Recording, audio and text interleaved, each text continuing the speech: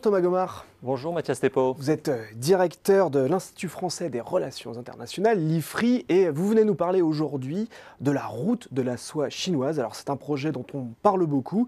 En quoi consiste-t-il? D'abord, il faut rappeler que c'est un projet euh, qui a été lancé en 2013 déjà par le président Xi Jinping et qu'il a lancé d'ailleurs d'Astana au Kazakhstan, euh, ce qui est une indication sur la vision eurasiatique au fond de, ce projet. L'idée fondamentale est de relier la Chine à l'Europe et de le faire à la fois par voie terrestre et également par voie maritime. Mais quand on dit par voie maritime, c'est une manière d'embarquer, si j'ose dire, euh, dans cette logique, à la fois euh, l'Afrique et, le Moyen-Orient.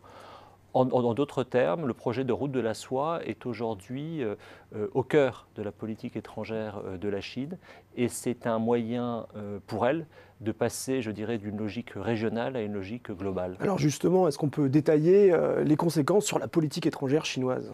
Je crois que c'est assez visible, si vous voulez, que la politique étrangère chinoise est en train de passer d'une logique de, rattrapage, d'une logique de euh, lente préparation, qui était d'ailleurs voulue par euh, Deng Xiaoping lorsqu'il avait lancé les réformes structurelles de la Chine à la fin des années 70, à une logique beaucoup plus proactive. C'est-à-dire que la Chine comprend bien aujourd'hui qu'il y a un vide euh, à occuper, vide notamment provoqué par euh, l'attitude des États-Unis. Et fondamentalement, ce projet doit aussi se lire euh, en termes géopolitiques, en termes géoéconomiques, comme une réponse au projet de l'administration Obama de ce qu'on avait appelé le TPP, Trans-Pacific Partnership, le TTIP, qui devait être l'organisation du lien transatlantique, et pour la Chine, évidemment, le fait que l'administration Trump ait renoncé à ces deux projets eh bien, facilite le déploiement des routes de la soie.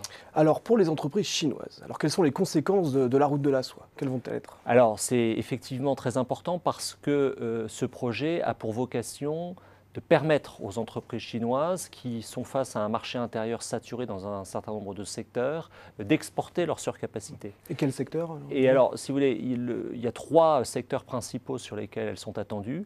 Les infrastructures, évidemment avec euh, des plans de financement très avantageux pour les pays qui y participeraient.